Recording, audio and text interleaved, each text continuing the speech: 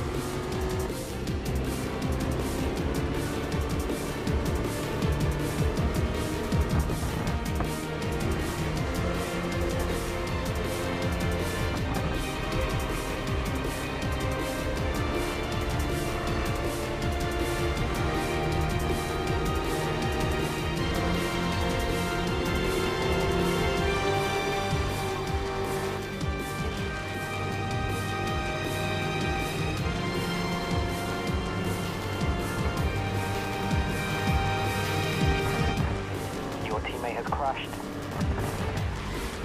They dropped to eight.